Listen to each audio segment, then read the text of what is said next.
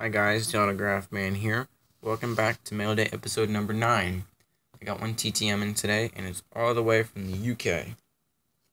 It's Natalie Dormer.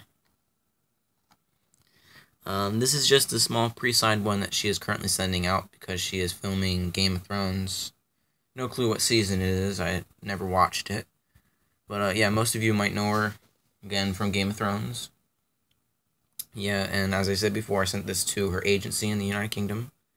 This took 145 days. And uh, yeah, I had sent two photos, and her secretary sent me a note and this back. Again, this took 145 days, and I sent it to the United Kingdom address. I'll put that in the description. Thanks for watching. Bye.